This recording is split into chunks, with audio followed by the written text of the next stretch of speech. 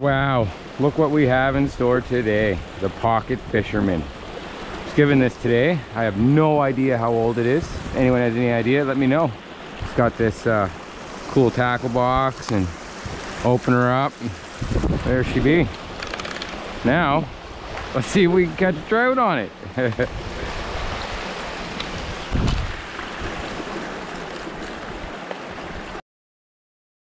Pocket Fisherman. Yay! Oh.